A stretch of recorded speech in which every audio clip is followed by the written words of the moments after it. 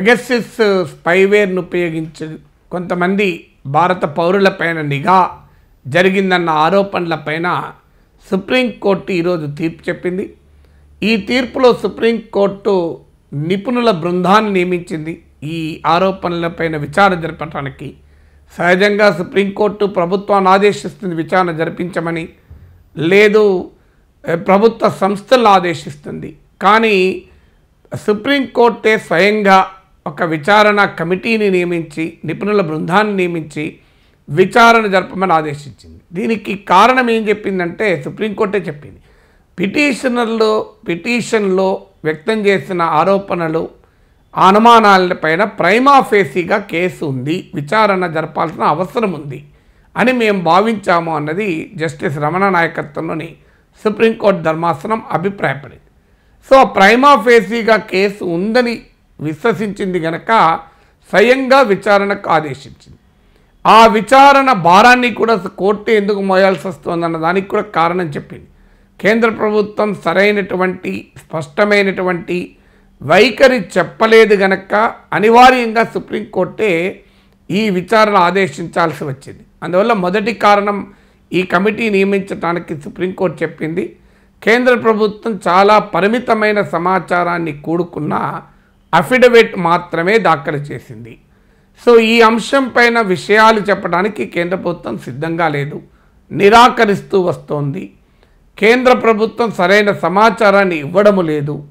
So సరైన సమాచారం ఇవ్వడం తన వైఖరి గురించి సరైన సమాచారం ఇవ్వడం లేదు. అలాగే తీసుకున్న చర్యల గురించి కూడా సరైన సమాచారం ఇవ్వడం లేదు కనుక మేమే ఆదేశించాల్సి వచ్చింది నిపుణుల కమిటీ నియమించాల్సి వచ్చింది అని సుప్రీంకోర్టు పేర్కొంది. ఇది మొదటి కారణం. ఇక రెండవ కారణం మరి కేంద్ర ప్రభుత్వం ఎందుకు కోర్టు ముందు సమాచారం ఇవ్వ నిరాకరించింది? దేశంలోనే అత్యున్నత న్యాయస్థానానికి సమాచారం చెప్పడానికి ఎందుకు కోర్టు వెన్- కోర్టు ముందు సమాచారం చెప్పడానికి కేంద్రం ఎందుకు వెనుకాడింది అంటే ఇది జాతీయ భద్రతకు సంబంధించిన అంశము. మేము ఇలా సమాచారాన్ని ఇవ్వలేము అన్నది కేంద్ర ప్రభుత్వ వాదన. సో ఈ వాదనపై కూడా సుప్రీంకోర్టు స్పష్టమైన వైఖరి చెప్పింది. జాతీయ భద్రతకు సంబంధించిన దేశ భద్రతకు నష్టం కలిగించే సమాచారాన్ని ఇవ్వమని సుప్రీంకోర్టు కూడా అడగదు. జాతీయ భద్రతకు ప్రాధాన్యత మేము కూడా గుర్తిస్తాం. కానీ జాతీయ భద్రత పేరు చెప్పి జాతీయ భద్రతను ఉటంకిస్తూ కేంద్ర ప్రభుత్వం ప్రతిసారి తప్పించుకోలేదు. ప్రతిసారి సమాచారాన్ని నిరాకరించజాలదు. విచారణ చేయనని అనరాదు అని కూడా సుప్రీంకోర్టు పేర్కొంది. అందువల్ల జాతీయ భద్రత ఎంత ముఖ్యమో జాతీయ భద్రత పేరు చెప్పి న్యాయ సమీక్షను అడ్డుకోరాదు కోర్టు ఒక ప్రేక్షక పాత్ర వహించలేదు అని కూడా చెప్పింది. ఇది రెండవ ఫ్యాక్టర్. అంటే కేంద్ర ప్రభుత్వం చెప్పిన ఈ నేషనల్ సెక్యూరిటీ థీరీ జాతీయ భద్రతా సిద్ధాంతాన్ని సుప్రీంకోర్టు తిరస్కరించింది. ఇక మూడవది ఏంటి అంటే ఈ విషయంలో ప్రైవసీ వ్యక్తిగత స్వేచ్ఛ ఫ్రీడమ్ ఆఫ్ స్పీచ్ భావప్రజ్ఞ స్వేచ్ఛ ప్రభావానికి గురైంది అనే ఆరోపణలు ఉండడం వల్ల ఈ కమిటీ నియమించాల్సి వచ్చింది అన్నది మూడో అంశం.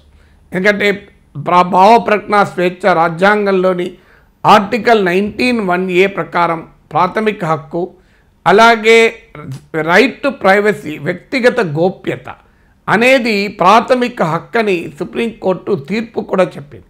అంటే right to privacy the part of right to లైఫ్గా చూస్తారు.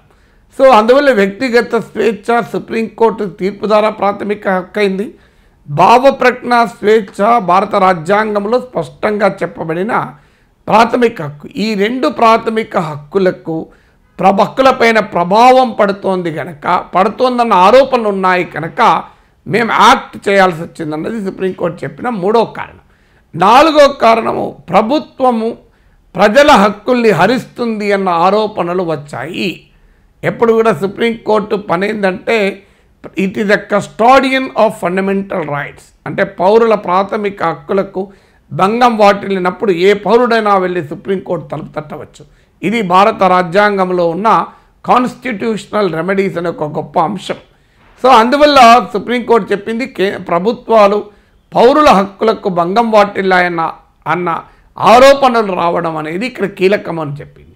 ఐదవది ఏంటంటే ఈ అసలు ఈ పిటిషనర్లు ఈ చెప్పడమే కాదు కొంతమంది తమ వ్యక్తిగత గోప్యకు గోప్యతకు అడ్డంకి ఏర్పడింది. తమపై నిఘా ఏర్ పెట్టారు అని చెప్పడమే కాదు ఈ వ్యవహారం ద్వారా మొత్తం ప్రజల మొత్తం పౌరులందరిపైన కూడా వారు నోరు మెదపకుండా భయపెట్టేటువంటి అంశం ఇది. అలాంటి ఆరోపణలు కూడా ఉన్నాయండి. దీన్నే డాక్ట్రిన్ ఆఫ్ చిల్లింగ్ ఎఫెక్ట్ అంటారు.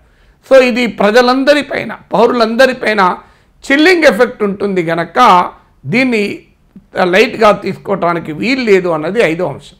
ఆరవది విదేశ్ అంతర్జాతీయంగా కూడా ఇది చాలా సీరియస్ అంశంగా మారింది. ఎందుకంటే పెగసిస్ నిఘా అనేది ఒక భారతదేశానికి సంబంధించింది కాదు. ఇది అంతర్జాతీయ పరిశోధనలో భాగంగా దీనిపైన ఈ భారతదేశం గురించి కూడా భారతీయుల నిఘా కూడా బయటకు వచ్చింది ఇప్పటికే కొన్ని దేశాలు ఆల్రెడీ విచారణకు కూడా ఆదేశించాయి. సో ఆరవ కారణం ఇది అంతర్జాతీయంగా సీరియస్ అయింది. ఏడవ కారణం ఏంటంటే భారతీయులపైన విదేశీ సంస్థల నిఘా జరుపుతున్నాయా అనే అనుమానాలు ఆరోపణలు కూడా ఇందులో ఇమిడి ఉన్నాయి. అందువల్ల ఈ కారణాల రీత్యా మేము విచారణకు ఆదేశించాల్సి వస్తోంది. సొంతగా కమిటీని ఏర్పాటు చేయాల్సి వచ్చి వస్తోంది అని సుప్రీంకోర్టు తన తీర్పులో పేర్కొంది.